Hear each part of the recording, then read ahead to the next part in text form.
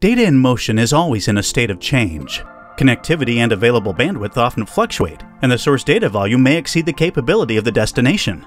Hortonworks Dataflow gives you the power to prioritize data within a data flow. It lets you send, drop, or locally store data as needed, and adjust as conditions change. Through a bidirectional feedback loop between each source and destination, data queues can be slowed down or accelerated to react to current availability and cost of resources. This allows you to immediately send important pieces of information while holding back less important data for future transmission. With the ability to seamlessly adapt to resource constraints in real time, ensure secure data collection, and provide prioritized data transfer. Hortonworks Dataflow is the proven platform ideal for the Internet of Anything. To find out more, go to hortonworks.com.